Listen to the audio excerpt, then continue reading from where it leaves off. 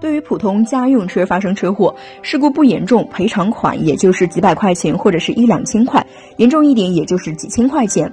而对于豪车，真的是让人伤不起。豪车的价钱不仅贵，维修费用也是贵的要死，喷个漆都要用原厂进口，而且价钱也是贵的夸张，金额都是五位数起步。现如今呢，穷人撞到豪车的事故并不少。对于这种事故一旦发生，就会有一个家庭面临着破碎的可能。毕竟豪车的维修费用可一点都不便宜，甚甚至。是干半辈子都不一定能够赔得起，那么撞了豪车赔不起咋办呢？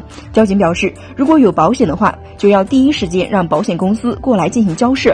如果保险不够赔，剩下的自己还赔不起，那么司法部门就会介入，他们会看你有没有什么资产进行拍卖的。如果没有什么资产可以变卖，那么可以日后进行分期付款的方式进行赔偿。而交警表示，不想让自己面临撞豪车赔不起的风险，最好的办法就是购买一份全险险。并且赔付金额不低于一百万。如果只购买一个交强险，别说撞百万豪车了，就算是七八十万的车被你撞上去了，你也赔不起。所以说买保险是最好的办法。而那些摩托车或者是非机动车驾驶员，能够买保险就买保险，没办法买保险就老老实实的遵守交通规则，否则出了车祸，交警也帮不了你。